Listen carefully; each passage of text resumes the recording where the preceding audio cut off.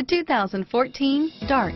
The Dodge Dart was introduced as a lower-priced, shorter wheelbase, full-size Dodge in 1960 and 1961, became a mid-size car for 1962, and finally was a compact from 1963 to 1976.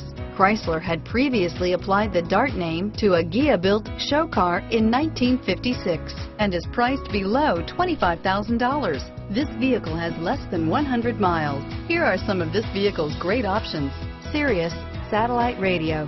Wouldn't you look great in this vehicle? Stop in today and see for yourself.